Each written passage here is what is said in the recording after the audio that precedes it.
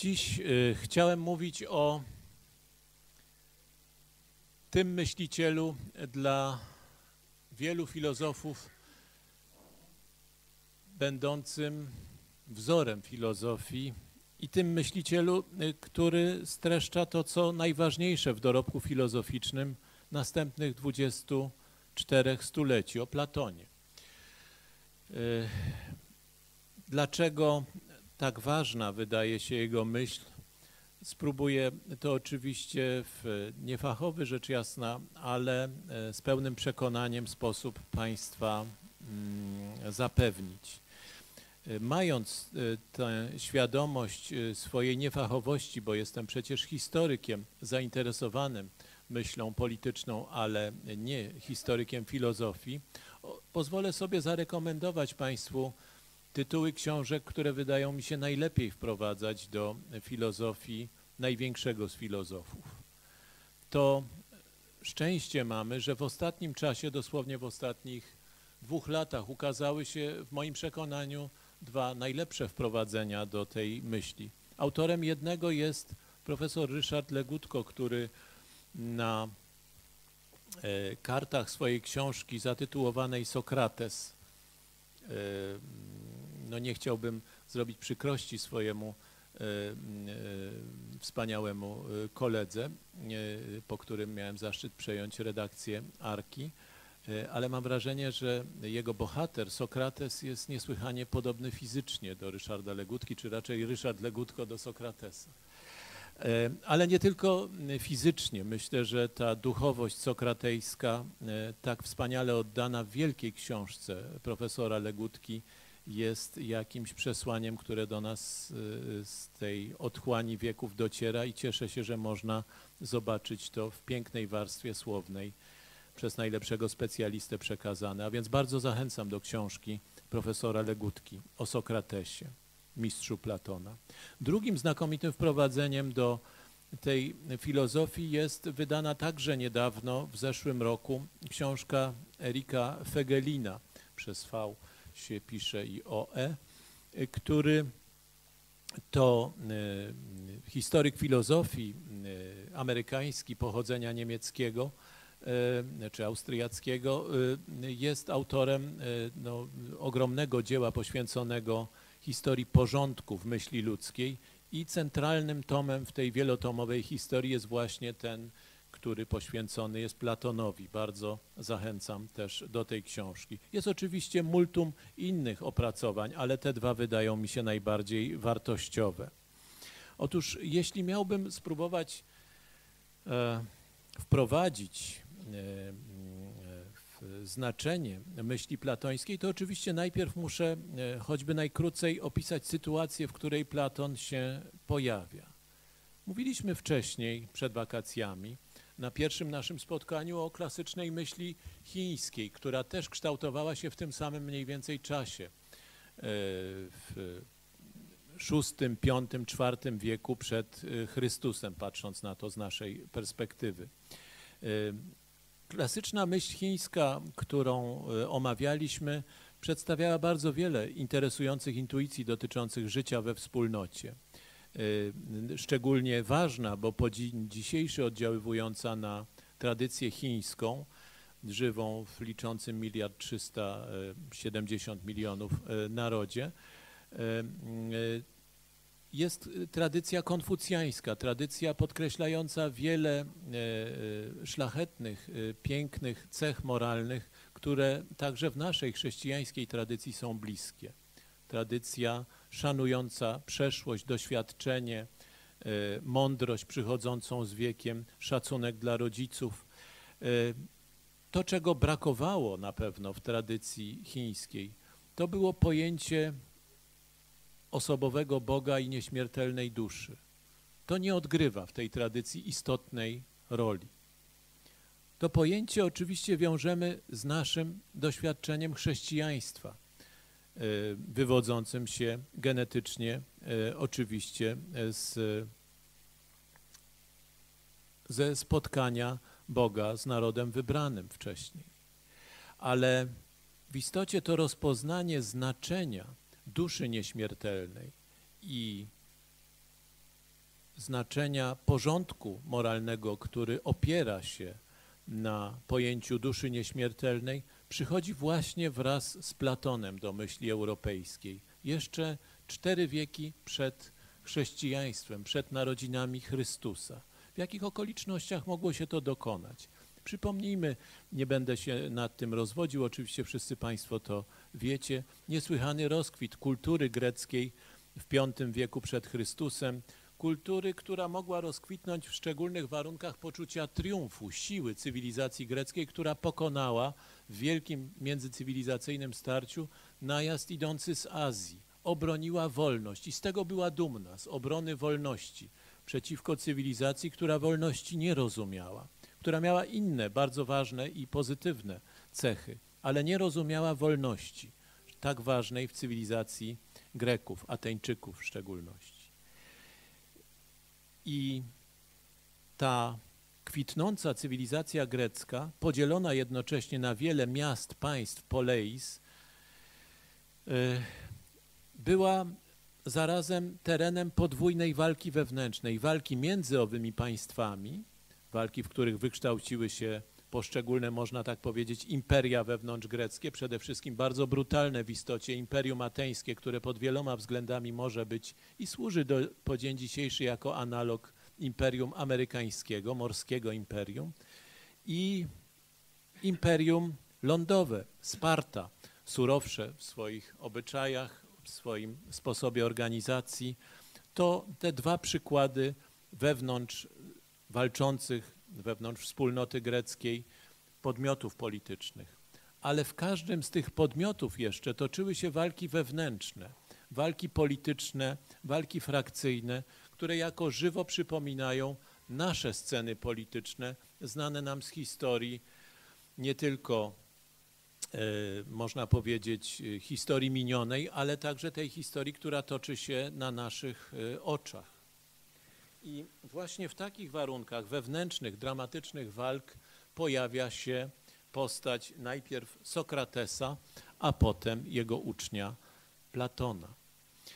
To są Ateny, e, miejscem akcji można tak powiedzieć, Ateny, e, w których rodzi się w roku 469 przed Chrystusem Sokrates, a w 399 w ciągu jednego dnia zostaje osądzony, skazany i wykonuje sam na sobie wyrok śmierci, który wydał demokratyczny sąd Aten na jego osobie za rzekomą obrazę bóstw.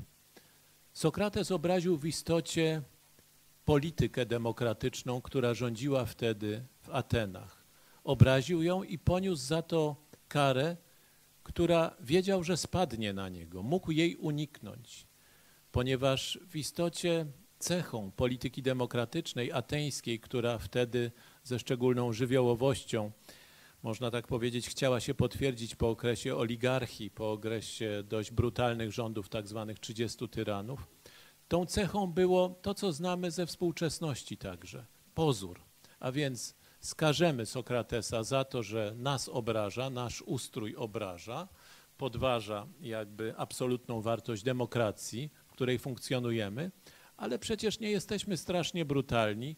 Właściwie liczymy na to, że on bez trudu czmychnie z Aten, po prostu wyjedzie i proponowano to Sok Sokratesowi w momencie, kiedy sąd zdecydował o rodzaju e, e, kary, a więc zdecydował o karze śmierci na Sokratesie, to z założeniem, że Sokrates ucieknie. Sokrates jednakże zrobił rzecz niebywałą. Postanowił pokazać, że to, czego uczył całe życie, a uczył tego, że ważniejsza od powodzenia mierzonego praktycznymi kategoriami w życiu jest wewnętrzna integralność, zgodność z prawdą duszy, że tej prawdy nie złamie w nim nawet groźba śmierci. I ta właśnie postawa, potwierdzona własnym życiem przez Sokratesa, była prawdziwym przełomem. Pokazała, że Sokrates ma duszę nieśmiertelną, że nie da zredukować swojego człowieczeństwa tylko do powodzenia w tym życiu, że wobec polityki demokratycznej stoi człowiek, który nie jest jej całkowicie podporządkowany, który może ją ocenić nie tylko jako obywatel, jako uczestnik tej polityki, bo z tej roli Sokrates nie zrezygnował, wręcz przeciwnie, spełnił ją do końca, ale może ją ocenić z góry, że jest coś ważniejszego od tej polityki demokratycznej. Pozwolę sobie przeczytać dwa fragmenty z obrony Sokratesa, jednego z platońskich dialogów, w których Sokrates wyraża jakby dwa stanowiska, które w jego życiu się spotkały. Pierwsze stanowisko sprowadza się do zdania, które wygłasza Sokrates, wiedząc już o wydanym na niego wyroku śmierci. Mówi tak: Nie ma takiego człowieka, któremu by wasz lub jakikolwiek inny tłum przepuścił. Jeżeli mu ktoś szlachetnie czoło stawia i nie pozwala na krzywdy i bezprawia w państwie, człowiek, który naprawdę walczy w obronie słuszności, a chce się choć czas jakiś ostać, musi koniecznie wieść żywot prywatny, a nie publiczny. A więc jeśli chcesz żyć w ustroju, w którym demokracja sięga po uroszczenia totalitarne, to znaczy chce narzucić pogląd, że jeśli ktokolwiek zakwestionuje totalną ważność ustroju demokratycznego i systemu wartości, w których w tym ustroju chroniony jest jak religia, to lepiej, żeby wiódł życie prywatne, nie wychylał się, bo zginie. Ale Sokrates mówi dalej. Posłucham Boga raczej aniżeli was i póki mi tchu starczy, póki sił, bezwarunkowo nie przestanę filozofować i was pobudzać i pokazywać drogę każdemu, kogo tylko spotkam, mówiąc jak to zwykle, że ty, mężu zacny, obywatelem będąc Aten, miasta tak wielkiego i tak sławnego z mądrości i siły, nie wstydzisz się dbać i troszczyć o pieniądze, abyś ich miał jak najwięcej, a o sławę, o cześć, o rozum i prawdę i o duszę, żeby była jak najlepsza, to nie dbasz i nie troszczysz się o to. To właśnie Sokrates robił całe swoje dojrzałe życie i dał świadectwo tego, angażując się do końca w to nauczanie własnym przykładem. Nauczanie, że trzeba dbać przede wszystkim o sławę, cześć, o rozum, prawdę i o duszę, na końcu najważniejszą wymienioną.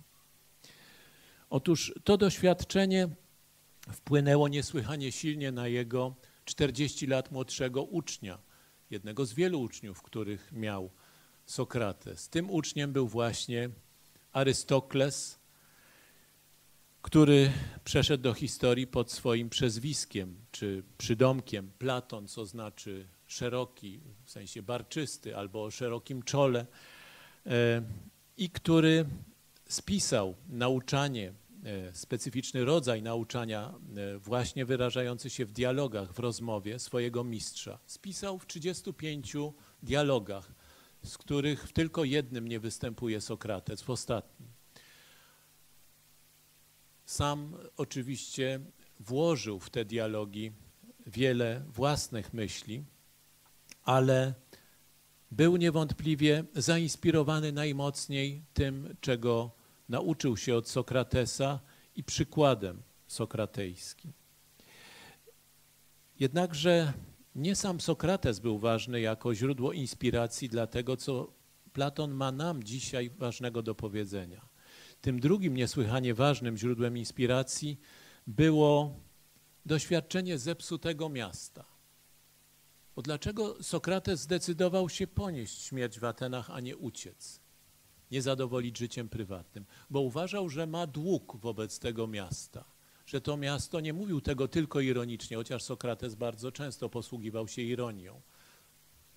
Ale nie mówił tego ironicznie, kiedy mówił o wielkości i mądrości swojego miasta.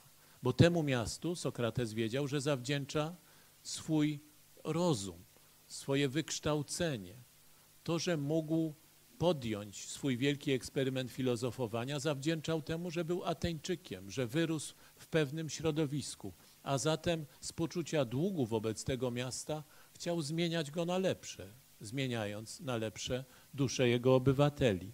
Traktował to jako swój obowiązek. Przeciwko komu musiał walczyć? Otóż głównym, można tak powiedzieć, przeciwnikiem, wobec którego musiał stanąć Sokrates, a za nim Platon, byli sofiści. W polityce demokratycznej bowiem nieodłącznie od czasów Grecji właśnie starożytnej ważniejsze od instytucji politycznych jest to środowisko, nazwijmy to tak, duchowe czy intelektualne, bez którego te instytucje nie mogłyby rościć sobie prawa do wszechznaczenia. Opiera się to roszczenie na przekonaniu, że skoro rządzi lud, demos, a więc nie rządzą już najlepsi, aristoi, arystokracja, nie ma zatem klucza jakiegoś obiektywnego do zasady organizującej życie publiczne, to wszyscy mają rację i jednocześnie nikt nie ma racji. A zatem nie ma prawdy, nie ma prawdy obiektywnej. Nie należy się nią przejmować, a nawet jeśli się nią należy przejmować, to tylko w takim kontekście, by usunąć ją sprzed oczu tłumu, by nie doszło do walk o tę prawdę. Sofiści pierwsi ogłosili się, można tak powiedzieć, płatnymi łowcami młodych i bogatych ludzi, których uczyli obracania słowami, by zapewnić im karierę w tym demokratycznym systemie. Kupcy handlujący naukami dla duszy, jak nazywa ich Platon, zapaśnicy w dziedzinie walki na słowa. Ale co znaczą te słowa? Otóż w koncepcji sofistów najważniejszym z nich i być może najgodniejszym, można tak powiedzieć, przeciwnikiem którego traktował Sokrates z najwyższym szacunkiem, był Protagoras z Abdery, który znany jest nam wszystkim z jednego powiedzenia, bo jego pisma nie dotarły do nas w oryginalnej postaci, tylko znamy go z omówień, między innymi właśnie w dialogach platońskich. Człowiek miarą wszystkich rzeczy. Ta zasada homo mensura, człowiek miarą wszystkiego, jest istotą podejścia sofistycznego. Protagoras bowiem wywodził, że przecież w naszym powszechnym doświadczeniu, ludzkim, międzyludzkim doświadczeniu jest, że co dla jednego zimne, dla drugiego może być tylko chłodne, a dla jeszcze innego być może nawet ciepłe. Że różnie odbieramy rzeczywistość, różnie odbieramy świat. A więc możemy wydawać na temat tego świata sądy sprzeczne, różniące się między sobą. A zatem, jeśli chcemy, to możemy przedstawić rzeczywistość jako grę argumentów, w których wygrywa ten zgrabniej skonstruowany. Grę, w której stawką nie jest prawda, bo jej nie ma. Bo to samo może być letnie, gorące i zimne. To zależy, prawda? Wszystko jest relatywne, wszystko zależy od kontekstu. Jedyne, do czego można by sprowadzić względnie obiektywny porządek, w państwie, w społeczeństwie, między ludźmi, to jest porządek nie tego, co prawdziwe i nieprawdziwe, bo tego się nie da określić zdaniem sofistów, ale tylko tego, co użyteczne i szkodliwe. Kryterium użyteczności, pragmatyczne kryterium, zastępuje kryterium prawdy i fałszu, dobra i zła. Ale kto może ocenić najlepiej w społeczeństwie, co jest pożyteczne lub niepożyteczne? fachowiec, specjalista. Człowiek przeciętny, obywatel może się mylić w tej sprawie, ale od czego są eksperci? Myślę, że ta sytuacja, którą opisuje w wielu swoich dialogach, za chwilę o niektórych z nich będę mówił Platon, sytuacja rządu sofistów na Agorze, jest sytuacją, którą doskonale znamy z własnego doświadczenia. Wciąż słyszymy, że nie ma prawdy, że jeżeli upieramy się przy prawdzie, na przykład w kwestii Smoleńska, jest no, niebezpieczne, po prostu prowokuje jakiś kryzys, jakiś zamęt, że lepiej zrezygnować z pojęcia prawdy, bo jedni to tak widzą, inni tak. Lepiej poprzestańmy na tym, co użyteczne a co szkodliwe. A co użyteczne, a co szkodliwe przedstawi nam ekspert, pan Chybki, albo może ktoś z programu Tomasz Lis na żywo. Zawsze znajdzie się jakiś ekspert. Otóż to właśnie było przedmiotem gniewu ze strony Sokratesa i przede wszystkim jego ucznia Platona i próby podjęcia walki z tymi, którzy chcą pogrzebać prawdę. Platon, jak już wspomniałem, który urodził się dokładnie 41 lat po mm, Sokratesie, y, żył w latach 427-8 y, przed Chrystusem do roku 347. Y, żył 80 czy 81 lat. To były także niezwykle burzliwe lata walk wewnętrznych w Atenach, lata, w których Platon próbował roli doradcy politycznego najbogatszej, najpotężniejszej kolonii greckiej na zachodzie, czyli w Syrakuzach, bez powodzenia większego zresztą, e, w różnych dramatycznych okolicznościach, na których opisywanie tutaj niestety nie ma czasu. Ale wrócił do Aten i założył tam swoją akademię, swoją szkołę. Szkołę w Gaju Akademosa, stąd nazwa Akademia, którą właśnie za Platonem przejęliśmy. W tej akademii właśnie sposobem nauczania były rozmowy. Rozmowy, które utrwalił w pewnym sensie Platon, czyniąc z nich dzieła sztuki, e, jedne z najwybitniejszych, jakie przekazała nam cała tradycja antyczna.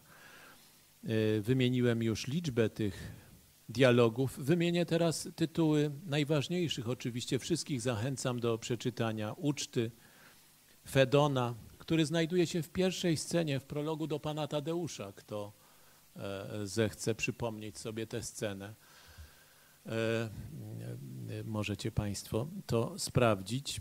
To jakby lektura obowiązkowa dla każdego wykształconego sarmaty. Fedon, traktat o nieśmiertelności duszy.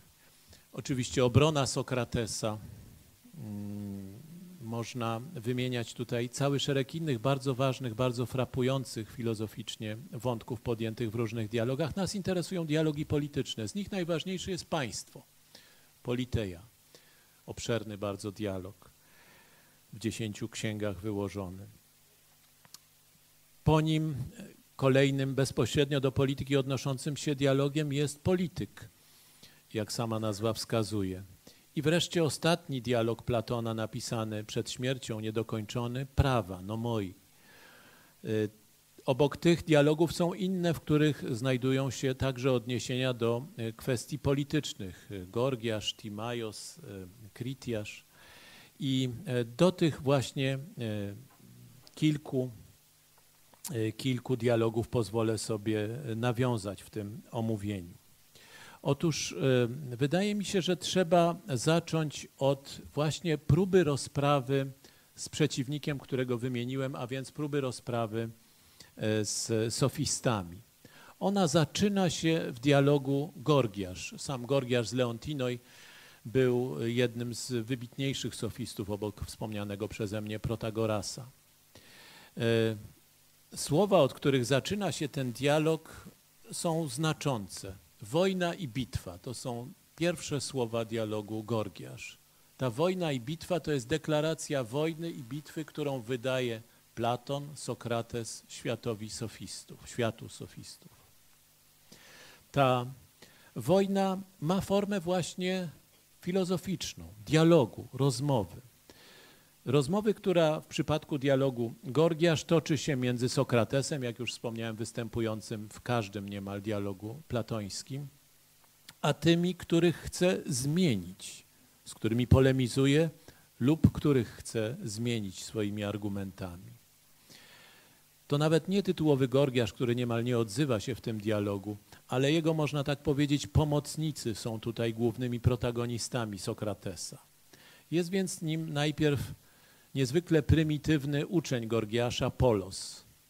No taki właśnie jak z programów, o których już nie będę mówił, ale których, z których jeden wymieniłem tutaj, e, powtarzający jak papugi za swoimi troszkę lepiej wykształconymi nauczycielami z zachodu, prawda? Więc w tym przypadku za Gorgiaszem, e, dające się pojąć przez nich e, zestawy pojęć jak cepy jak to określił kiedyś Zbigniew Herbert w swoim wierszu.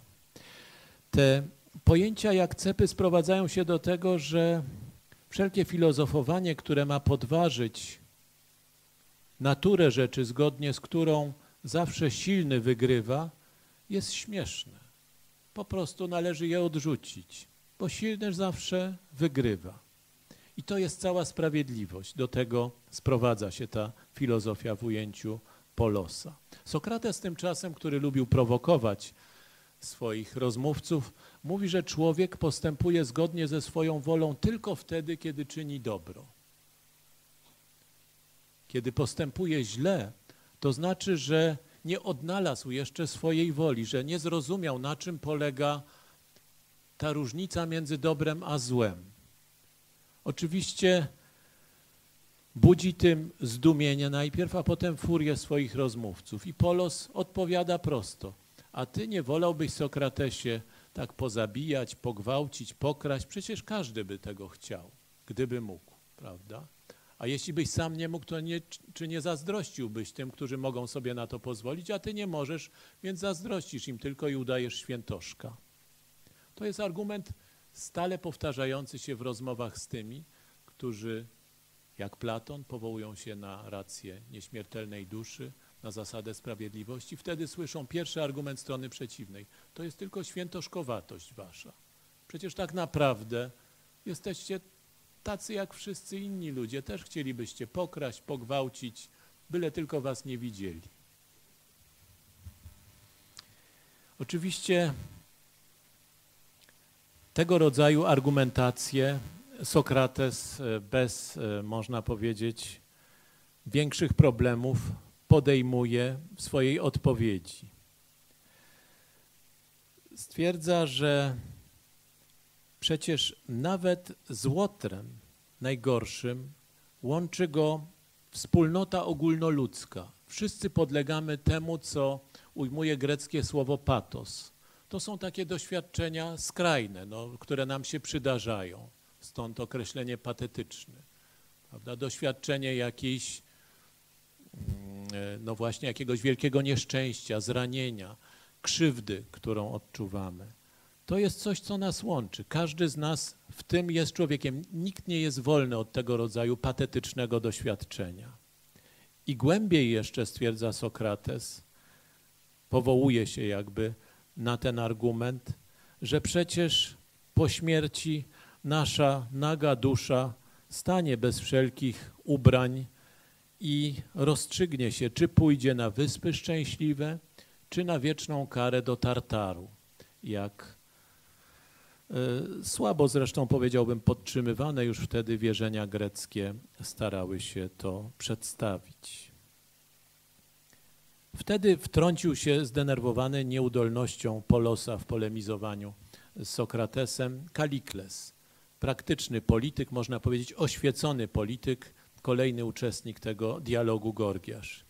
I mówi, że przecież cała koncepcja sprawiedliwości, dobra, o którym mówi e, Sokrates, jest w istocie wymyślona przez słabych po to, żeby powściągnąć, powstrzymać silnych.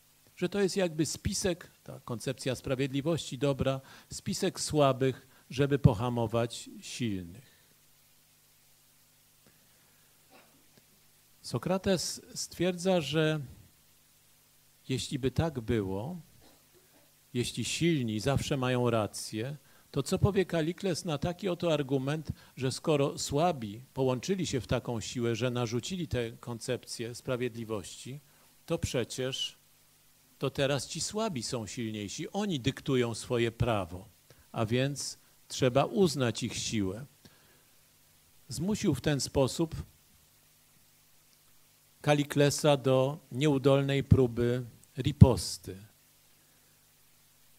Kalikles upierał się przy tym, że sprawiedliwość, jeśli można ją w jakikolwiek sposób zrozumieć między ludźmi, to rządy silnego nad słabszymi. Dokładnie tak, jak rozumie to Martin Schulz, który niedawno udzielił nam lekcji poglądowej Kaliklesa w roku 2015, prawda? Przymuszą nas siłą, żebyśmy rozumowali tak jak on. To jest lekcja Kaliklesa z roku 2015. Ale Sokrates wtedy mówi, ale przecież uznajesz jakąś hierarchię, uznajesz jakąś hierarchię cnót mimo wszystko, nawet jeśli upierasz się, że tylko siła jest ważna. Bo na przykład uważasz, że odwaga jest lepsza od tchórzostwa, albo że mądrość od głupoty, czyli jednak jest jakaś hierarchia poza siłą i słabością. Skoro słabi połączyli swe siły, powściągnęli silnego, to oni są teraz dobrzy, z tej siły ma wynikać dobro. Kalikles wtedy stwierdza, że skoro nie może pozostać już przy samej definicji dobra jako siły, mówi, że rządzić powinni silni, to jest najmądrzejsi i najodważniejsi. W sprawach państwa najmądrzejsi i najodważniejsi. Ale pyta Sokrates w sposób dociekliwy, dla siebie charakterystyczny. Czy ci silniejsi, najmądrzejsi, najodważniejsi powinni w związku z tym folgować temu, co Kalikles podkreślał cały czas, to znaczy chęci posiadania więcej. No bo skoro jestem mądrzejszy, odważniejszy, to czy powinienem stale chcieć więcej dla siebie? Kalikles odpowiedział, tak, człowiek powinien spełniać zawsze swoje pragnienia. I wtedy Sokrates przypomniał, że pragnienia, które stoją przed człowiekiem, mogą być bardzo różne, właśnie dobre i złe że jeżeli uważamy, że siła pozwala nam na folgowanie naszym pragnieniom, nie rozwiązaliśmy jeszcze problemu, bo tylko wtedy i tym wnioskiem kończy się ten wstępny dialog, który przytaczam tylko jako rodzaj prologu do myśli Platona, kiedy dusza odnajduje właściwy wewnętrzny porządek w którym można rozróżniać dobro i zło, tylko wtedy ta dusza może wejść we wspólnotę, wspólnotę nakierowaną na dobro, po grecku agaton, że tylko wtedy można zacząć budować prawdziwą wspólnotę, jeżeli najpierw uporządkujemy hierarchię dóbr, pożądań w naszej duszy, że to jest właściwy kierunek układania polityki. Nie przez instytucje, ale zaczynając od naszej duszy od tego, jak my sami rozróżniamy dobro i zło. Kalikles wtedy używa argumentu, można powiedzieć, ostatecznego. Ale przecież nawet jeśli przyjmiemy sposób rozumowania Sokratesa, to zawsze w imię samozachowania lepiej jest unikać niesprawiedliwości, niesprawiedliwego prześladowania i nawet zadać niesprawiedliwość komuś, niż być prześladowanym. A więc mamy prawo do samozachowania. Na co Sokrates odpowiada, że lepiej jest znosić niesprawiedliwość, niż niesprawiedliwość zadawać. Brzmiałoby to pusto, brzmiałoby to jak deklaracja świętoszka, gdyby nie to, że Platon pisał ten dialog po śmierci Sokratesa, który swoim życiem pokazał, że tak właśnie nie tylko należy postępować, ale że on tak postąpił. A zatem, że ten cały pragmatyczny sposób rozumienia polityki, który reprezentował Kalikles, zostaje tutaj obalony. Otóż te wstępne rozważania przedstawione w Gorgiaszu układają się w znacznie bardziej ambitne przedsięwzięcie na kartach, jak już wspomniałem, najobszerniejszego dialogu Platona państwo. Ten ułożony w dziesięć ksiąg dialog, zawierający wiele no, porywających opowieści, które weszły do krwiobiegu e, naszej cywilizacji po dzień dzisiejszy, to w państwie jest wyrażony najobszerniej mit o jaskini, o którym za chwileczkę powiem. E, I ten piękny mit, od którego zaczyna się przecież, znaczy, który zawarty jest także w Królu duchu słowackiego. Otóż ten obszerny traktat w istocie ma jeden temat, jest nim dociekanie sprawiedliwości. Jak może funkcjonować sprawiedliwość w porządku społecznym? Sokrates rozmawia o tym z kilkoma interlokutorami. Pierwszym jego interlokutorem jest stary Kefalos.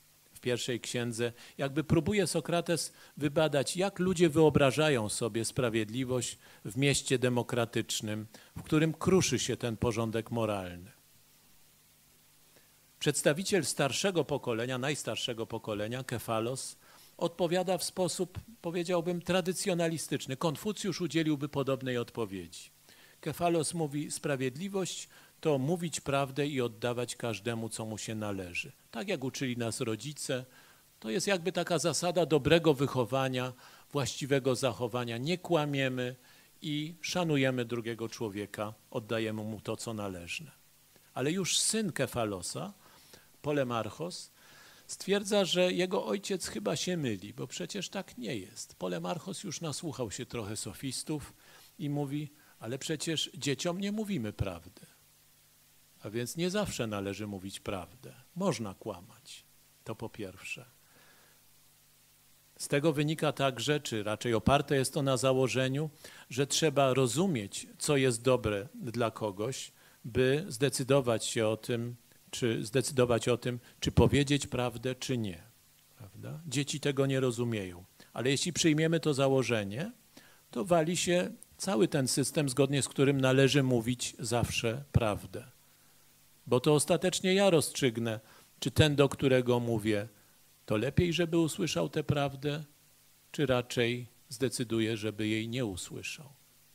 Wali się cały ten system, który proponował, stary system, który proponował ojciec Polemarchosa Kefalos. A więc proponuje inną definicję przedstawiciel młodszego pokolenia. Sprawiedliwość to pomagać przyjaciołom i szkodzić wrogom. No taki instynktowny, można powiedzieć, bardzo często praktykowany sposób widzenia sprawiedliwości. Pomagamy swoim, szkodzimy obcym. I bardzo często dzisiaj słyszymy, że to jest właśnie ten rodzaj sprawiedliwości, który my uprawiamy, że tylko dlatego nie chcemy tutaj przyjąć wysłanników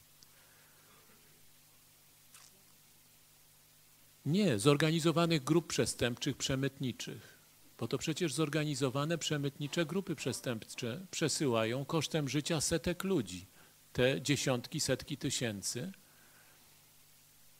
Ale my słyszymy, że to my jesteśmy winni, wyznając tego rodzaju filozofię sprawiedliwości, jaką przedstawia tutaj Polemarchos. A więc chcemy tylko swoim dobrze, obcym, czyli muzułmanom, źle. Otóż Sokrates zwraca uwagę na to, że skoro Polemarchos użył tego rodzaju określenia, to sam wpada we własne sidła, bo przecież przed chwilą mówił o tym swojemu ojcu, że jeśli nie można mówić każdemu bezwarunkowo prawdy, to my rozstrzygamy o tym, kiedy ona jest dobra, a kiedy zła, dla tego, komu ją mamy powiedzieć lub nie, to również kiedy mówimy o tym, że chcemy robić dobrze dla naszych przyjaciół, a źle dla naszych wrogów, to musimy też wiedzieć nadal, co jest dobre, a co jest złe, co jest dobre dla naszych przyjaciół, a co jest złe dla naszych wrogów. A więc nie usunęliśmy problemu rozstrzygnięcia, co jest dobre, a co złe. I Sokrates proponuje jako tezę, nieudowodnioną jeszcze, swoją definicję. Sprawiedliwość to pomaganie ludziom w ogóle, a nie tylko przyjaciołom nieszkodzenie nikomu. Wtedy włącza się przedstawiciel sofistów, już bezpośrednio tej szkoły sofistycznej i mówi, jak to? Przecież w państwie zawsze prowadzimy wojnę, a więc musimy wyrządzać niesprawiedliwość innym, szkodzić innym, prawda? A zatem tego rodzaju definicja, jaką proponuje Sokrates, jest nieżyciowa, niepraktyczna, nie nadaje się do życia politycznego. A więc Trazymach proponuje swoją definicję, którą już słyszeliśmy we wcześniejszym dialogu. Sprawiedliwość to to, co jest korzystne dla silniejszego. To silni ustanawiają prawo. A zatem, skoro silni ustanowią prawo, wszystko jedno, czy to będzie ten najsilniejszy człowiek, czy to będzie demos, który jest najsilniejszy, to to, co jest prawem ustanowionym przez silnego, to jest sprawiedliwe. I w ten sposób Trazymach pierwszy ułożył można powiedzieć, definicję sprawiedliwości zgodnej z prawem stanowionym. Czyli to prawo, które jest ustanowione, ogłoszone, ono decyduje o tym, co jest sprawiedliwe, co nie. To się nazywa pozytywizm prawniczy. Prawda? To znaczy, jak Adolf Hitler ogłosi na przykład, że Żydzi, Cyganie nie mają prawa do życia, to to jest sprawiedliwe, bo takie prawo ogłosił, prawda? I na to właśnie zwraca uwagę natychmiast Sokrates, ale rządzący przecież mogą się mylić i wtedy posłuszeństwo ich prawom okaże się szkodliwe, także dla nich. Trazymach próbuje bronić swojej koncepcji i mówi, że rządzący dlatego są rządzącymi, że umieją to robić, że są jak pasterze ludzkiej trzody, fachowi, są jak rzemieślnicy. Na co Sokrates mówi, że rzemieślnik nie myśli o sobie, ale o tym, czy o tych, którym służy. Szewc nie myśli, kiedy robi buty, o swojej nodze, tylko o nodze swojego klienta, któremu służy. A więc w doskonałym społeczeństwie wszyscy powinniśmy być jakby rzemieślnikami sumiennymi. Każdy wykonuje swój zawód z myślą o tej wspólnej służbie. Ale Trazymach uporczywie mówi, że rządzący jest jak rzemieślnik rządzenia nad ludźmi, a więc rządzenia na sposób właśnie pasterski, tą trzodą. I mówi, że władca pilnuje interesu nie trzody, tylko właściciela stada. I tu Trazymach, jak mi się wydaje, zwrócił uwagę na pewną zależność, którą dzisiaj powinniśmy dobrze zrozumieć. W koncepcji Trazymacha polityk jest jakby pasterzem wynajętym przez właściciela. Myślę, że bardzo często obserwując działania na przykład Platformy Obywatelskiej, ale także wielu innych polityków w krajach demokratycznych, w Stanach Zjednoczonych, w Niemczech, mamy wrażenie, że są tylko pasterzami stada, którzy pilnują interesów nie swoich. Oni dostają zapłatę za to, że są pasterzami, ale właścicieli stada, czyli tych, którzy są posiadaczami, a więc jakbyśmy to powiedzieli po marksistowsku, kapitału, kapitalistów, tych, którzy dysponują największą władzą, władzą pieniądza, a politycy są tylko ich wynajętymi sługami. Trazymach pierwszy to jakby opisał. Ale Sokrates odpowiada natychmiast, ale nawet jeśli przyjmiemy Twój punkt widzenia, to musi być poczucie sprawiedliwości, jakiegoś zaufania wzajemnego między pasterzem a właścicielami, bo jeśli jego nie będzie, no to zawali się cały ten porządek, prawda? Nawet w mafii, oczywiście to nie jest argument, którego używał Sokrates, ale nawet w mafii musi być pewien poziom zaufania między członkami, pewien poziom sprawiedliwości między członkami mafii, żeby ona dobrze funkcjonowała. A zatem nie udało się Trazymachowi unieważnić problemu sprawiedliwości, nawet takim najbardziej cynicznym podejściem do polityki. I wtedy uczeń Sokratesa, do którego przede wszystkim zwraca się Platon, Sokrates w tym dialogu, mówi, że dotychczasowy przebieg dialogu nie satysfakcjonuje go, bo wciąż nie wie, na czym polega sprawiedliwość, a chciałby uzyskać odpowiedź na tę wątpliwość, która pojawia się w nim i w każdym z nas przecież, że przecież sprawiedliwość wynika z natury. Człowiek z natury jest zainteresowany tylko swoim dobrem, będzie szukał swojego dobra, a dla tego dobra ludzie uzgadniają dalej między sobą, co można, a czego nie można robić. Gdyby człowiek mógł wybierać, wybrałby pewnie życie niesprawiedliwe, powtarza Glaukon, ów uczeń Sokratesa, mądrość, o której słyszeliśmy już w poprzednim dialogu. I tu rozwija się piękny mit, chociaż przewrotny mit, o pierścieniu Gegesa, że istniał taki pierścień, który czynił człowieka niewidzialnym. I Glaukon mówi, że każdy człowiek chciałby mieć taki pierścień, który pozwoliłby mu zniknąć i robić rzeczy niegodziwe, które mu tylko na myśl przychodzą, byle tylko go nie widzieli. A więc sprawiedliwość to jest udawanie sprawiedliwości, żeby nas nie widziano, kiedy robimy rzeczy złe. I tu docieramy jakby do istoty polityki demokratycznej. W demokracji potrzebny jest pozór, potrzebne jest zachowywanie pozorów. Czy w takim systemie jest możliwe życie człowieka sprawiedliwego? I Sokrates w tym momencie dochodzi do pewnego, jakby się wydawało, pesymistycznego punktu konkluzji. To bardzo piękny fragment, więc pozwolę go sobie zacytować dosłownie. Słów Sokratesa z państwa. Spośród tych niewielu, co przyszli i zakosztowali, jaką słodycz i szczęście daje to dobro. I dostatecznie się napatrzyli szaleństwu szerokich kół i zobaczyli, że po prostu nikt nie prowadzi w państwach jakiejś polityki zdrowej i że nie ma się z kim sprzymierzyć, żeby pójść sprawiedliwości na pomoc i nie zginąć, tylko jakby człowiek wpadł między dzikie zwierzęta i ani razem z nimi ludzkiej krzywdy płodzić nie chce, ani sam jeden w walce przeciw powszechnemu zdziwieniu ostać się nie potrafi. Zanim by się na coś mógł przydać państwu i przyjaciołom, a ginąc przed czasem, zejdzie bez pożytku dla siebie i dla drugich.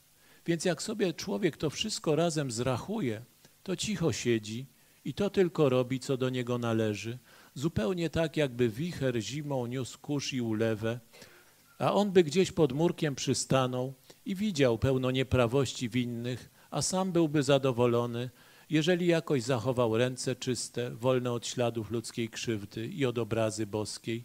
I tak to życie tutaj spędzi, a kiedy przyjdzie odejść, to odejdzie nie bez nadziei pełnej uroku, łagodnie i przy dobrej myśli.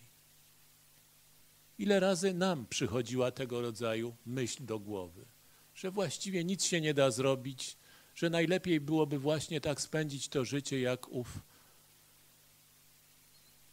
z wizji Sokratesa bohater, który przystanął pod murkiem, chce uniknąć tej ulewy, która ulewy niegodziwości, niesprawiedliwości, która wokół się dokonuje i czuje swoją bezsilność. Nic nie możemy zrobić. Spróbujmy przynajmniej sami nie splamić się niesprawiedliwością. To jest wybór człowieka sprawiedliwego w systemie niesprawiedliwym, w systemie, który przyucza do pozorów, do niesprawiedliwości. I w tym momencie jest jakby kluczowa decyzja, czy zgodzić się na to, że w Atenach w roku, czy po roku 399, Atenach, które zamordowały Sokratesa, można jeszcze coś zrobić? Czy można odbudować jakiś system sprawiedliwej polityki, w którym sprawiedliwy człowiek nie będzie musiał chronić się, by przeżyć w swoją prywatność? I Sokrates odpowiada wtedy, że choć to dużo, przeżyć życie sprawiedliwie prywatnie, ale to jeszcze nie jest to, co człowiek powinien starać się zrobić w swoim mieście. Skarży się jednakże, że pisze tak, y, mówi tak, i to właśnie jest moja skarga, że żaden z dzisiejszych ustrojów państwowych nie jest godzien natury filozofa. Dlatego się też ta natura skręca i odmienia. A więc zastanawiając się nad tym, co robić w sytuacji, kiedy stajemy wobec takiego wyzwania, jak życie w niesprawiedliwym społeczeństwie, Sokrates mówi, trzeba zastanowić się nad tym, jak zbudować sprawiedliwe społeczeństwo. I tu przedstawia swój projekt, często przez niezwykle prymitywnych krytyków, jak Karl Popper na przykład w swoim studium o społeczeństwie otwartym i jego wrogach, jest ta wizja przedstawiana jako wizja totalitarna. Bo rzeczywiście spotykamy tutaj w tej wizji idealnego państwa, którą zaczyna w tym momencie budować Sokrates, elementy, które w czasach komunizmu mogły się wydawać właśnie realizowane, bo jest wśród tych elementów komunizm. Tak jest. Dlaczego? Na jakiej zasadzie? Spróbujmy to zrozumieć, oczywiście pokrótce. Państwo macie jeszcze chwilę cierpliwości mnie słuchać. Jeszcze około pół godziny, jeżeli można. Otóż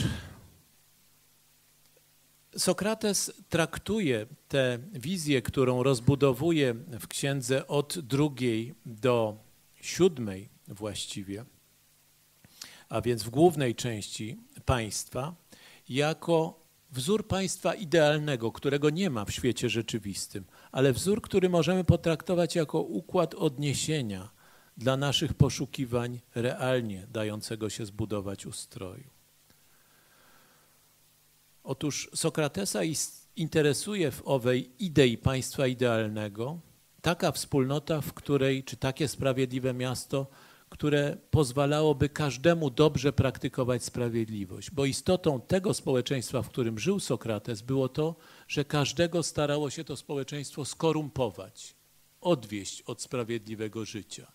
Było to społeczeństwo, jak opisywał Sokrates, w którym matka w najlepszej intencji starała się doradzić dziecku, żeby kłamało, żeby udawało, żeby zrezygnowało ze swoich ambicji bycia dobrym, sprawiedliwym, żeby przeżyło jakoś po prostu w tym skorumpowanym świecie.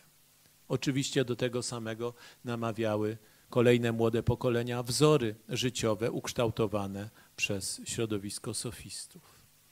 A więc trzeba, żeby praktykować sprawiedliwość w sposób doskonały, zbudować właśnie środowisko do tego społeczne, które by wspierało raczej naszą cnotę, niż zachęcało do jej zepsucia. I tu analizuje Sokrates najpierw jakby historię tworzenia społeczeństwa i stwierdza, że no po prostu skupiamy się, bo taka jest nasza natura. Potrzebujemy drugiego człowieka, żeby rozwijać własne człowieczeństwo. I tak budujemy, tak budowaliśmy najprymitywniejsze, pierwsze formy społeczne na poziomie rodziny, potem wsi, potem wspólnoty wsi czy rodów, tworząc takie proste społeczeństwo pasterzy przekształcające się w społeczeństwo rolników, żyjące po to, żeby przeżyć, żyjące bez zbytku, bez zbytnich pożądań, żyjące uczciwie w istocie, prostymi, można powiedzieć, reakcjami w obcowaniu z naturą. Jednakże tego rodzaju wizja społeczeństwa, ten pierwszy etap rozwoju społecznego, w którym nie ma niesprawiedliwości, ale które jest właśnie na takim prymitywnym poziomie, nie zadowala oczywiście przedstawicieli współczesnego Sokratesowi i Platonowi, pokolenia młodych, ambitnych mieszkańców z wielkich miast, prawda, czyli z Aten w tym przypadku. Oni mówią, no przecież to jest społeczeństwo dla świń. Tak to określił Glaukon właśnie e, w państwie Platona. Takie surowe społeczeństwo, w którym się tylko pracuje, modli, e, prawda, e, idzie wcześnie spać, a gdzie rozrywki, gdzie jakiś rozwój, prawda, intelektualny, szerszy. I w ten sposób przechodzimy do drugiego etapu społeczeństwa, społeczeństwa, które zaczyna ulegać korupcji w pogoni za tymi rozrywkami coraz bardziej wyszukanymi. Za chwilę o nich powiem. I tak przechodzimy do ze zdrowego miasta dla świń, jak to określił Fegelin, na następny, e, można powiedzieć, poziom. Kiedy skończył się wiek niewinności, zło się już szerzy w mieście, miasto trzeba oczyścić. I w tej konstrukcji platońskiej tym oczyszczeniem mają się zająć strażnicy. Do tej koncepcji będą później nawiązywały kolejne pokolenia budowniczych utopii z naszym Andrzejem Fryczem Modrzewskim także, który przewidzi bardzo podobną instytucję jak tutaj Platon, strażników moralności. A więc mają być strażnicy, to jest najważniejsza grupa społeczna. Strażnicy, który, którzy zajmą się wychowaniem ludności, a więc usuną te zbędne rozrywki. Tu pojawia się właśnie tak często dyskutowany w sztuce problem wygnania poetów z miasta, poezji, do tego jeszcze wrócę na koniec, dlaczego Platon chciał wygnać poezję mimetyczną, czyli naśladowczą z miasta. Po to tylko, żeby wychowywać ludzi do odwagi i umiarkowania, do wspólnego życia, do życia, w którym będzie można traktować każdą jednostkę jak brata. I tu rozwijają się właśnie te elementy najbardziej kontrowersyjne, jeśli odczytać dosłownie projekt Sokratesa, a więc komunizm. Żeby nie wykształcały się zawiści między ludźmi, prywata, potrzebne jest nie tylko ograniczenie własności, właściwie zniesienie własności prywatnej, ale zniesienie rodziny. Dzieci powinny być wychowywane wspólnie, żeby właśnie rodziny nie próbowały faworyzować swoich potomków ponad ich możliwości, ponad ich talenty, ponad ich zasługi. To, co oczywiście jest krytykowane w tym punkcie i słusznie, jednocześnie obok znajduje te punkty, które są podchwytywane współcześnie. Proszę, ten Sokrates jednak, czy Platon nie był aż takim reakcjonistą, bowiem Sokrates przewidywał absolutne równouprawnienie kobiet i mężczyzn. Strażnikami ćwiczącymi nago, głównie praktyki gimnastyczne, żeby no, fizycznie być zdolnym też kontrolować tę ludzką wspólnotę, mieli być i kobiety, i mężczyźni, bez żadnej różnicy. Jednocześnie nie przewidywał także inaczej niż niemal wszyscy inni myśliciele starożytni w tej akurat wizji niewolnictwa. Nie było niewolników w tej wspólnocie idealnej. Bo wszyscy byli, ktoś może powiedzieć, niewolnikami, prawda? Dlaczego ta wizja, czy do czego ta wizja prowadzi?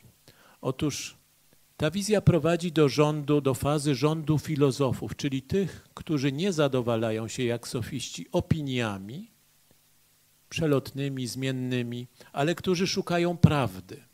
I tutaj pojawia się właśnie ten piękny mit platoński jaskini. Wszyscy żyjemy jakby na dnie jaskini, do której docierają tylko słabe odblaski światła z otworu, przez który można zobaczyć, jeśli wyjdzie się z jaskini słońce.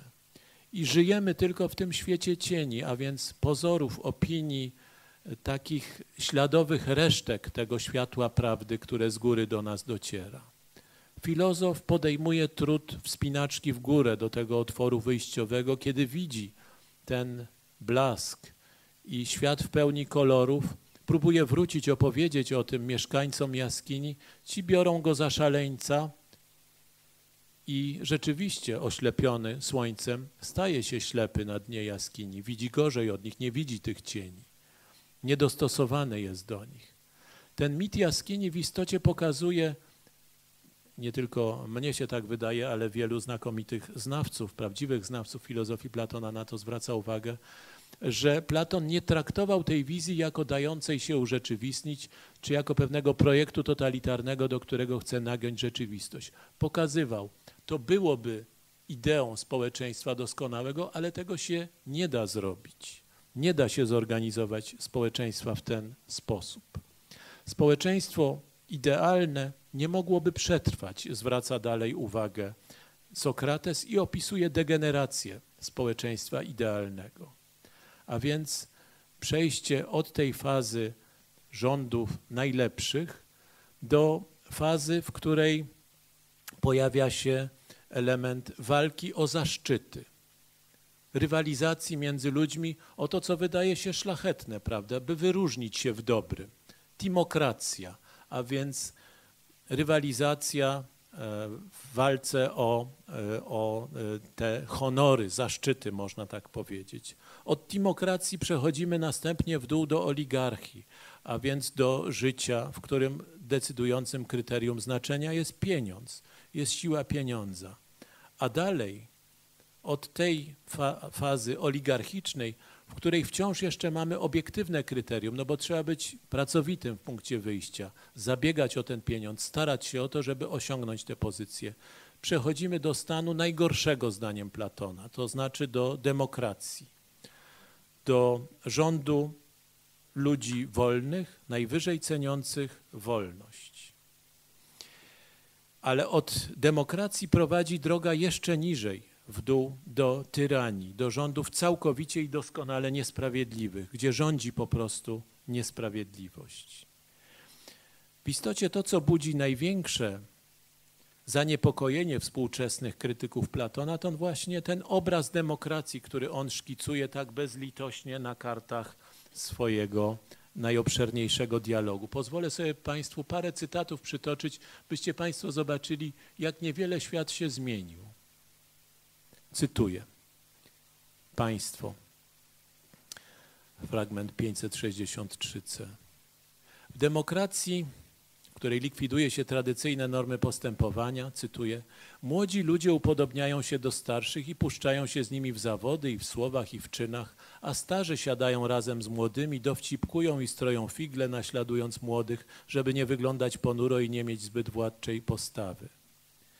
Suki prowadzą się tam zgodnie z przysłowiem całkiem tak jak ich panie, a zdarzają się też konie i osły przyzwyczajone do tego, żeby się poruszać po drogach bardzo swobodnie i z godnością i wpadają na każdego przechodnia, jeżeli im nie ustąpi i w ogóle w ten sposób, gdzie się ruszyć wszędzie pełno wolności.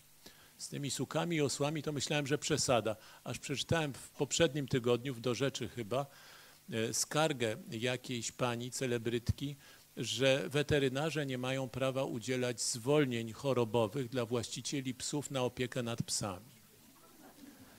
Myślę, że Platon mógłby to w przypisie dodać. Pisał Platon o typie człowieka demokratycznego w ten sposób. Tak sobie żyje z dnia na dzień, folgując każdemu pożądaniu, jakie się nadarzy. Raz się upija i upaja się muzyką. To znów pije tylko wodę i odchudza się to znów zapala się do gimnastyki. A bywa, że w ogóle nic nie robi i o nic nie dba, a potem niby to zajmuje się filozofią. Często bierze się, często bierze się do polityki. Porywa się z miejsca i mówi byle co i to samo robi. Jak czasem zacznie zazdrościć jakimś wojskowym, to rzuca się w tę stronę. A jak tym, co robią pieniądze, to znowu w tamtą. Ani jakiegoś porządku, ani konieczności nie ma w jego życiu, ani nad nim. On to życie nazywa przyjemnym i wolnym i szczęśliwym i używa go do końca. W ten sposób, to koniec cytatu, w ten sposób człowiek demokratyczny, można powiedzieć, zrywa ostatecznie związek z jakimkolwiek obiektywnym ładem moralnym. Chce mieć wszystko, chce połknąć wszystko, użyć wszystkiego, bo wszystko wydaje mu się ciekawe, interesujące, i w ten sposób wyobraża sobie życie przyjemne, wolne i szczęśliwe. To znowu cytat. Demokracja nie skłania jednostki do życia zgodnego z prawdą, ideałem cnoty, ale do życia według wartości iluzorycznych, bo stanowionych przez zmienne i relatywne kaprysy. W ten sposób jakby pokazuje Platon, że świat demokracji jest światem, w którym nastąpiła powszechna akceptacja rzeczywistości cieni jako jedynej rzeczywistości. Że ta mentalność demokratyczna nie tylko ignoruje prawdę jako najwyższy autorytet, ale w ogóle zatraca świadomość jej istnienia. I to jest właśnie zagadnienie, o którym także wspominaliśmy wczoraj na tej sali, dyskutując problem prawdy historycznej i polityki historycznej. Otóż w takiej właśnie sytuacji pojawia się w sytuacji społeczeństwa demokratycznego droga do jego ostatecznego upadku. I to podkreśla Platon z całą mocą, że demokracja nie jest ostatnim słowem degeneracji społecznej, ale że po nim przychodzi tyrania, dyktatura. W jakich okolicznościach? W systemie demokratycznym ludziom, ludzie dzielą się generalnie na dwie grupy. Tych, którzy mają dużo posiadają dużo i tych, którzy niewiele mają, żyją utrzymywani jakoś na tym najniższym poziomie przez państwo, przez polis. Ale jest między nimi grupa, którą określa słowem trutnie. To są ci, którzy judzą, którzy zajmują się wyłącznie pobudzaniem do walki, do konfliktu, do rywalizacji, żeby zrealizować swoje własne interesy. To są ci, którzy czują, że nie są tak bogaci, jak mogliby być, ale mogą zrobić swój interes, jeżeli pobudzą tych biednych, pobudzą zawiści przeciwko bogatym, jeżeli doprowadzą do walki wewnętrznej. Powiedziałbym, to jest świat dziennikarzy i ideologów, nie obrażając bardzo dużej grupy uczciwych dziennikarzy. O ideologach chyba nie mogę takiego wyjątku zrobić. Otóż w ten sposób dochodzi do stazis, do walki wewnętrznej, do konfliktu wewnętrznego, właściwie permanentnego w systemie demokratycznym, który ostatecznie rozstrzygnie taka czy inna tyrania. My też dzisiaj jakby stoimy w obliczu takiej oto sytuacji, że zastanawiamy się, czy lepsza jest tyrania łagodna, płynąca z ust Martina Schulza i można powiedzieć innych ideologów z Brukseli, którzy decydują prawda, o krzywiźnie ogórka, czy o tym, e, czy y, ślimak jest rybą, czy i oczywiście o innych dużo ważniejszych sprawach dotyczących wychowania, bo to są kwestie żartobliwe, ale jakby próbują panować nad rzeczywistością, zmieniać rzeczywistość, prawda? Czy raczej nie przyjdzie realna tyrania w postaci prawa szariatu, które może być po prostu skuteczne, efektywne i sprawdzone w bardzo dużej części ludzkiej cywilizacji, na dużej jej przestrzeni? To jest pytanie, przed którym realnie stoimy, ta perspektywa. Czy też uda się odbudować jakąś część przynajmniej ładu moralnego w naszej cywilizacji, w której nie będziemy musieli dokonać tego ostatecznego przejścia z fazy demokratycznej do fazy despotycznej. Platon w niezwykle sugestywny sposób opisuje grozę przejścia do tej ostatniej, najgorszej fazy. Pokazuje ją jako zwielokrotnienie tej sytuacji ulegania pożądaniom. Bo kiedy uznajemy, że wszystkie nasze pożądania są dobre i każde warto zaspokoić, ostatecznie przychodzą te, jak pisze Platon, co budzą się w duszy, gdy śni. A więc takie najgorsze rzeczy, o których nie chcemy nawet na jawie mówić. Wiemy, do tego służy internet, do tego służą niektóre filmy, do spełnienia tego rodzaju najgorszych pożądań. Pojawia się, jak pisze Platon, bestia w człowieku, która oddaje się szaleńczym mordom, kazirodztwu, perwersji. To jest ten ostateczny stopień zdziczenia społeczeństwa demokratycznego. No wiemy, że są dzisiaj chwalcy kazirodztwa wśród nas, wśród profesorów Uniwersytetu Jagiellońskiego także. Są obrońcy pedofilii, jak choćby bardzo ważny polityk Parlamentu Europejskiego, pan Daniel Cohn-Bendit, który pouczał kiedyś prezydenta Czech e, o tym, co jest sprawiedliwe, a co niesprawiedliwe. Dominuje ostatecznie w tym świecie rozkiełznanych pożądań, bez żadnego porządku moralnego, jak to nazywa Sokrates, a raczej faktycznie Platon, eros tyrannos, pożądanie, które wybucha szaleń, szaleństwem po prostu. Nieuchronnym jakby końcem jest tyrania. I tu po tym y, upiornym obrazie, kończącym przegląd, można powiedzieć, upadku społecznego, przechodzi Platon do konkluzji swojego wielkiego dialogu. Stwierdza, że dobry porządek można zrealizować nie przez żadne instytucje, nie żadna forma polityczna, ale dobra paideia, czyli dobre wychowanie jest ważne, bo to jest walka, której rozstrzygnięcie, czy człowiek wybierze dobro czy zło, toczy się w duszy człowieka. To jest najważniejsze pole walki.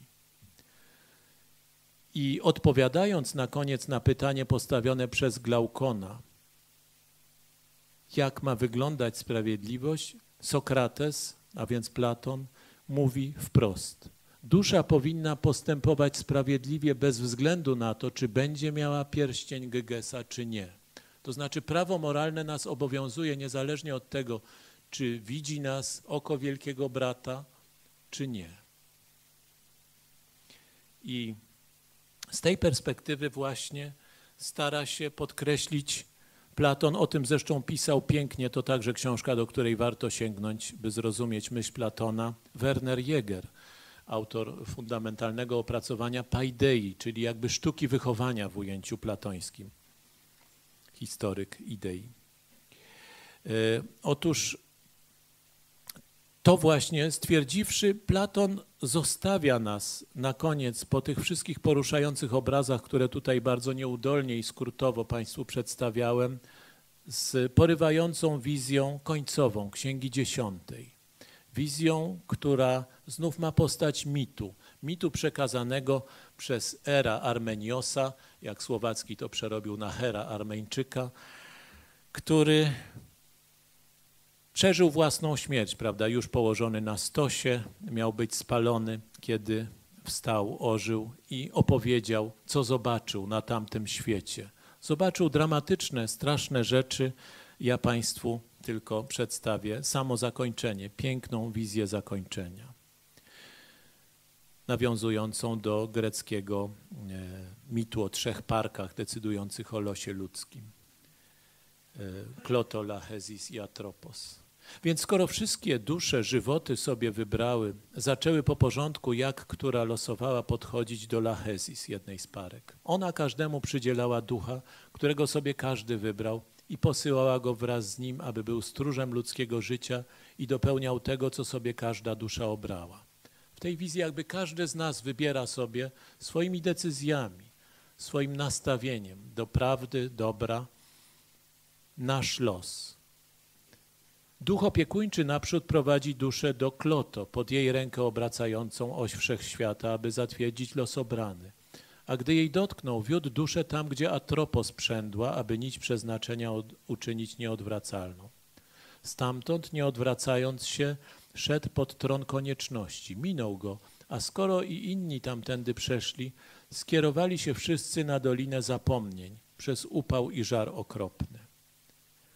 Tam nie było drzew ani czegokolwiek, co ziemia wydaje, a że już się miało ku wieczorowi, więc rozłożyli się obozem nad rzeką bez troski. Wody tej rzeki żadne naczynie nie utrzyma. Pewną miarę tej wody każdy koniecznie wypić musiał, których rozum od tego nie ustrzegł, pili ponad miarę. A kto ją pija wciąż, ten zapomina o wszystkim. To ważna lekcja, byśmy pili z rzeki bez troski, ale nie bez opamiętania, byśmy nie zapomnieli o realiach naszych wyborów moralnych, których dokonujemy. Kiedy pokładli się spać i nadeszła północ, odezwał się grzmot i przyszło trzęsienie ziemi. Wtedy w mgnieniu oka rozleciały się duchy na wszystkie strony, w górę ku narodzinom, rozprysły się jak gwiazdy. Jemu samemu, czyli opowiadającemu ten mit Erowi Armeniosowi, nie pozwolono pić tej wody. A jakim sposobem i którędy znalazł się znów w ciele nie wiedział. Tylko, że nagle oczy otworzył, było rano i zobaczył, że już leży na stosie. W ten sposób kończy dialog Sokrates jako protagonista Platona. W ten sposób Glaukonie ten mit ocalał i nie zginął. Może on i nas ocalić, jeżeli go posłuchamy i przez rzekę zapomnień szczęśliwie przebrniemy, a nie splamimy duszy.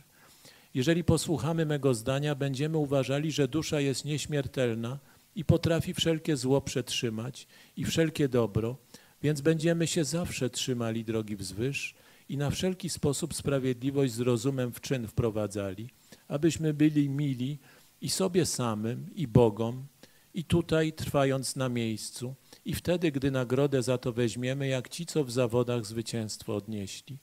I biorą nagrody stąd i stamtąd, więc żeby nam i z nami, i tu, i w tysiącletniej wędrówce, którąśmy przeszli, zawsze było dobrze.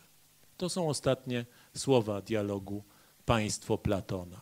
Dialog kończy się więc wskazaniem, że ostatecznie zawsze rozwiązaniem, które mamy przed sobą, jest troska o własną duszę, o własną sprawiedliwość, że mamy pewien drogowskaz, wizję społeczeństwa, ku któremu możemy zmierzać.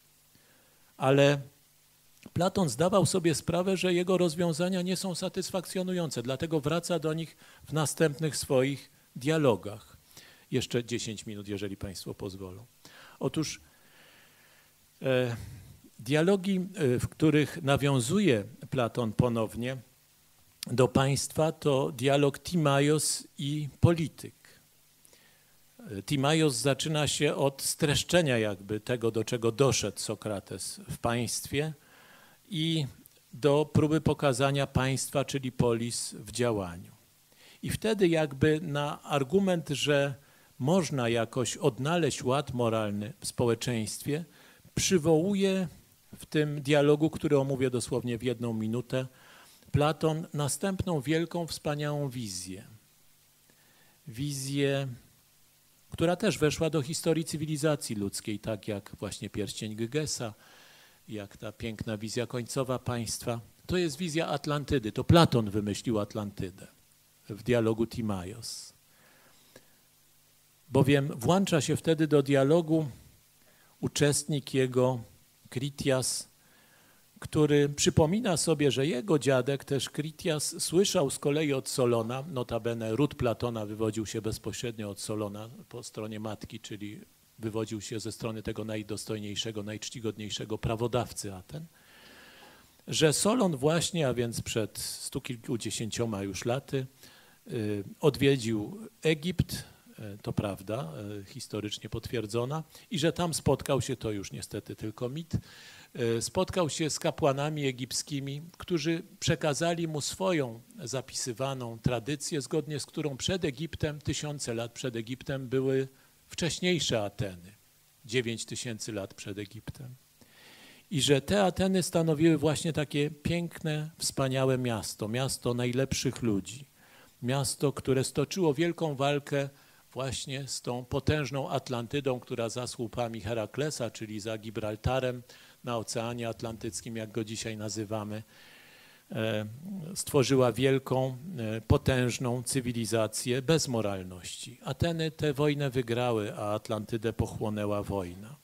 Otóż ten mit przypominam tutaj tylko po to, by przy okazji jakby e, przypomnieć Państwu, skąd on się bierze, mit Atlantydy, poszukiwanej po dzień dzisiejszy, ale e, także, by pokazać pewną drogę poszukiwania przez Platona ugruntowania pewnego ideału politycznego. Otóż uważa Platon, że możemy szukać tego ideału odwołując się do pięknych mitów dotyczących naszej przeszłości. Tak, to pomaga.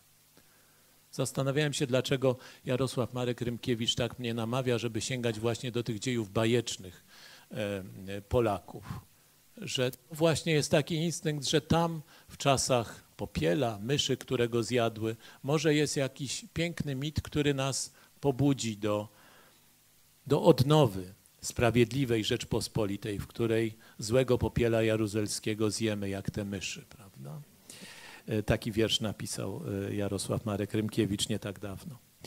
E, ale pół żartem to powiedziawszy, widzę w tym bardzo głęboką intuicję Platona. Tak, trzeba sięgać do starych mitów, starych bajek, które pokazują jakby czcigodne korzenie porządku, ładu moralnego, do którego warto wracać. Ale na serio E, oczywiście dialog Timaios, którego nie mam tutaj czasu streszczać, jest dialogiem jak najbardziej e, poważną wymowę mającym, ale bardzo praktycznie, może tak powiedzmy, zajmuje się raz jeszcze problemem rozpoczętym w państwie Platon w dialogu polityk. Głównym tematem dialogu polityk jest zagadnienie królewskiego odnowiciela. My teraz jesteśmy w takim czasie. Czekamy na królewskiego odnowiciela. Wydaje nam się, że już go prawie mamy. Jesteśmy w tym szczęśliwym położeniu, że nie rozważamy, tak jak pół godziny czy 40 minut temu cytowałem smutną konstatację Sokratesa, Platona, że mamy stanąć tylko pod tym murkiem i czekać, aż przeżyjemy życie w niegodziwym świecie. Nie. Liczymy, że jest ten królewski odnowiciel, któremu możemy pomóc odnowić dobre, sprawiedliwe państwo. Możemy zrealizować tę misję filozofa nie w postaci tej idei, o której mówił Sokrates, komunizmu, żon i dzieci, ale w postaci zgodnej z naszą tradycją, z naszymi mitami narodowymi, że właśnie taki charyzmatyczny przywódca, który obdarzony jest dwoma najważniejszymi cechami, które winien posiadać przywódca, a więc rozumnością i władczością, połączeniem tych dwóch cech, może przywrócić w duchu cnoty i mądrości rządy sprawiedliwe. Samo prawo, stwierdza Platon, wbrew bardzo często przypisywanej fałszywie wymowie dialogowi polityk, samo prawo nie wystarczy. Właśnie dialog polityk dostarcza, można powiedzieć, najbardziej dramatycznej przestrogi przed wiarą w to, że prawo załatwi za nas wszystko. Bo często niektórzy to podkreślali, pamiętam jak na początku trzeciej RP mówiono nam, że wszystko załatwią za nas rządy prawa i że nic w związku z rządami prawa jednocześnie nie można załatwić, zrobić. Platon ujął to tak. Jeśli przyjmiemy założenie, że nic nie powinno być mądrzejsze od prawa, przepadłyby nam wszystkie umiejętności i już by się nawet nigdy odrodzić nie mogły, bo to prawo zabraniałoby badań. Życie już i teraz ciężkie zrobiłoby się w ogóle nie do wytrzymania. mówi Platon, gdybyśmy prawem ogarnęli wszystko, tak jak chcą to zrobić biurokraci z Brukseli, żeby wszystko było przepisane wymogami prawa. Otóż wtedy skończylibyśmy w systemie właśnie totalitarnym, w którym prawo zabraniałoby i badań. Życie już i teraz ciężkie stałoby się nie do wytrzymania, moglibyśmy powtórzyć i powtarzamy czasem za Platonem. Ta wizja zostaje ostatecznie dopełniona, bo nie ma czasu, już nie chcę przeciągać, już i tak cierpliwość Państwa e, wystawiłem na zbyt dużą próbę. Ta wizja zostaje dopełniona, bo tu są różne systematyki ustrojów, nie ma sensu ich tutaj powtarzać za politykiem, potem za prawami, ale kończy się właśnie w dialogu prawo. To jest taka, można powiedzieć, rozmowa starych ludzi, bo Platon nie kończy tego dialogu, ma 80 ponad lat, kiedy umiera, a więc jest starym człowiekiem, kiedy patrzy na całość swoich rozważań nad wspólnotą polityczną, kiedy rozważa tam zalety ustroju Aten, Krety i Sparty, próbuje wydestylować z tego jakiś kolejny wzór. Te wzory nie są ważne. Ważne jest to, że Platon wraca do, znów do fundamentu, o którym nigdy nie możemy zapomnieć w życiu politycznym. Fundamentu, który właśnie wprowadza Platon do refleksji politycznej naszego kręgu kulturowego, który różni te refleksje od zacnej i godnej przypomnienia tradycji chińskiej. Tym fundamentem jest właśnie odwołanie do Boga i do duszy nieśmiertelnej. Pisze Platon w dialogu prawa, że najważniejsze jest, byśmy nie zapomnieli, że jesteśmy tylko marionetkami w ręku Boga. Tu znów w pięknej metaforze ujmuję to w ten sposób, że Bóg pociąga za nici złotą, tą, którą tworzy nasza zdolność do refleksji, do rozumienia wspólnego dobra. Pociągnięcia tej nici są delikatne, subtelne i jeśli jesteśmy na nie wrażliwi, to wykazujemy tę naszą mądrość. A jeśli nie, to Bóg może użyć żelaznej nici, której ruchy są gwałtowne i która kieruje nami nieuchronnie, niezależnie od tego, jak my chcemy. Boski lalkarz jest zawsze od nas ważniejszy, to pamiętajmy. I stwierdza na koniec jakby całej swojej refleksji, całego swojego życia, jakby kończąc polemikę z sofistami, z Protagorasem. Cytuję. Bóg ma być dla nas miarą wszystkich rzeczy, o wiele bardziej z pewnością niż człowiek. I myślę, że to jest ta najważniejsza lekcja, którą my chrześcijanie odbieramy oczywiście przez pryzmat wcielenia, przez pryzmat ważniejszego daleko doświadczenia, które dało nam wcielenie Chrystusa. Ale w myśl polityczną to przekonanie, że jest miara osądu rzeczywistości politycznej i nadziei w każdej sytuacji i powrotu wciąż do próby budowania lepszego, sprawiedliwszego porządku przez odwołanie do porządku we własnej duszy, że miarą tego zawsze jest Bóg i nadzieja na to, że nasza dusza nieśmiertelna jest polem, w którym zwycięży dobro. Bardzo Państwu dziękuję. Zapraszam do pytań. Dziękuję bardzo.